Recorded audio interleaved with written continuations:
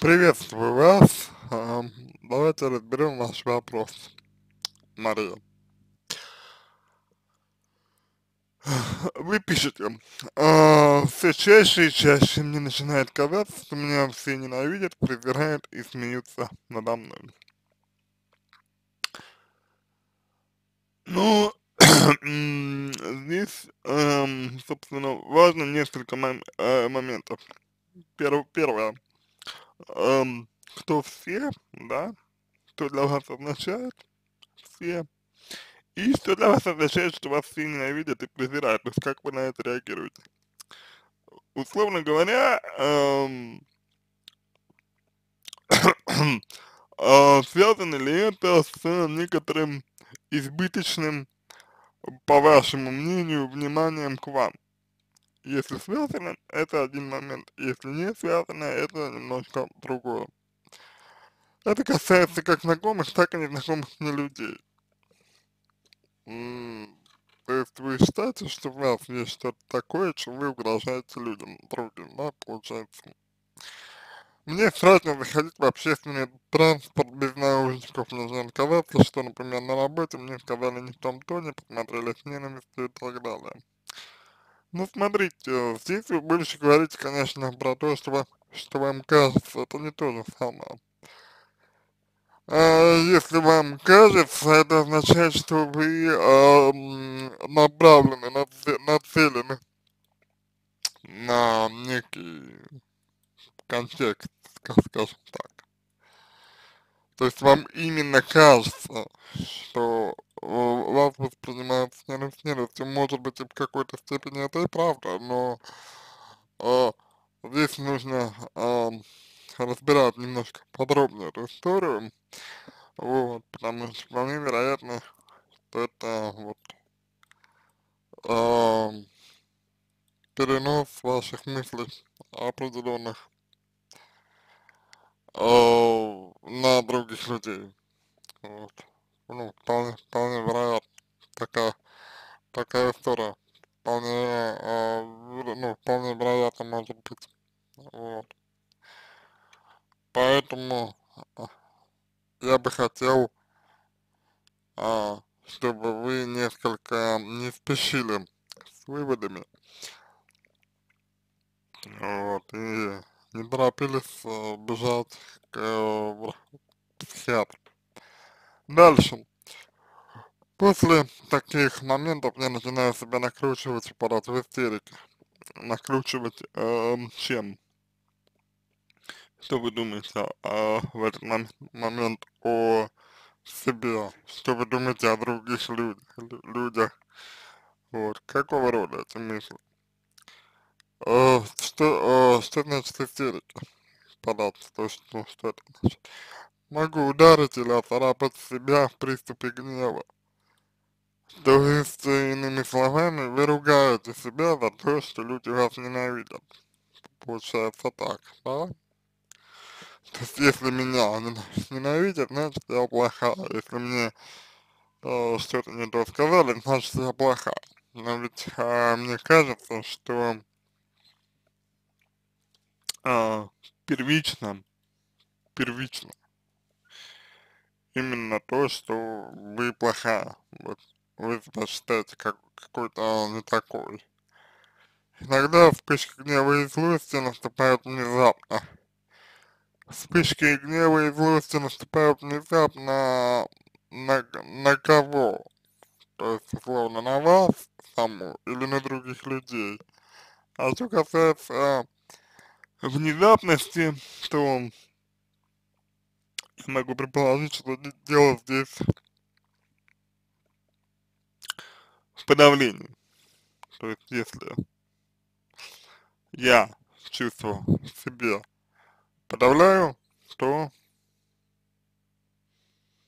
будет, а, ну, что, то оно, это чувство будет э, спонтанно проявляться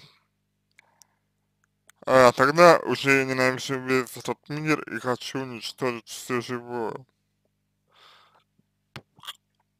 Ну, мне кажется, что здесь больше про, про боль. Ненависть это всегда про боль, про переживание какого-то отве отвержения не некоторого, скажем так. Это всегда про болезненно, болезненно. Это всегда защита. Это, это ярость, вот то, что вы описываете, очень похоже на ярость, а ярость это, в свою очередь, ярость, это такое экстремальное чувство э, потребности в ком-то, единении. Э, мне становится все тяжелее контролировать свои эмоции. А зачем их контролировать? То есть мне кажется, что э, в том числе из-за контроля эмоций возникает с вами то, что возникает. Понятно, что есть разрушительная форма, понятно, что есть неприемлемая форма выражения своих эмоций, это безусловно. То есть, то есть никто не говорит вам идти там на, на улицу, начинать орать там на всех и так далее, нет но э, контролировать эмоции, мне кажется, вы пытаетесь всегда, даже, да, даже наедине с собой, даже наедине с собой вы запрещаете себе что-то чувствовать, мне так, мне так кажется, опять же. Я и раньше была мнительной, очень ранимой. Э, говоря о мнительности, вы имеете в виду что здесь просто люди разные отношения вкладывают в мнительность. Э, вы были очень ранимы, пишете, пишете вы, а как бы обращались с этой ранимостью, страдала от панических атак. А, это некоторая такая неосознаваемая тревожность вами. То есть вот тревожность по поводу угроз, с которыми вы не знаете, что делать. Сейчас я чувствую, что я на пределе, мне после истерик физически больно, может это связано с тем, что я бы только бросила, в июле бросила курить, после курила 11 лет, а, случился спазм сосудов, отказала на время правая нога, что делать? А, я не торопился бы, а ПНД, вот, крайней мере, если вам физически больно, да, можно, можно обратиться, вот, а, чтобы вам облегчили физическое состояние, но психиатр не работает с психологическими причинами вашего и любого другого человека состояния, поэтому э, лекарство и, и э, лечение не решит проблему, например, аутоагрессии, которые у вас возникают, или проблему, как сказал мой коллега, непринятия себя, поэтому решать вам. ПНД не решит ваших проблем, он может облегчить, облегчить э, состояние, но проблем ваших не решит, вот. А в целом, мне кажется, что э, в вашем э, тексте есть такой, знаете,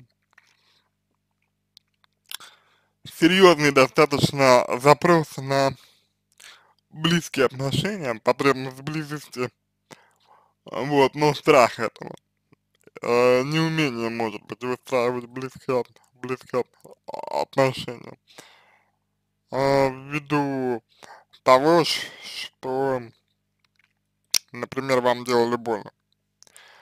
То есть в целом чувствуется некоторая травматичность, да, то есть может быть э, раньше у вас э, в прошлом есть опыт, когда вы были привязаны сильно к человеку, а он вас там оттолкнул, ранил, обидел, вот, и вот эта потребность близости, она осталась, а вот э, реакция на нее негативная. Ну и понятно, что довольно сложно вам опираться на себя, ввиду того, что к себе ваши отношения далеко не самые лучшие, вот. Поэтому мне кажется, да, есть что-то, что вы себе не принимаете, есть что-то, что вы считаете себе очень плохим, вот это тоже важно корректи корректировать. На этом все. Я надеюсь, что пом помог вам. Э, буду благодарен за обратную связь по моему ответу. Э, это позволит вам начать работу над собой. Всего вам самого доброго и удачи.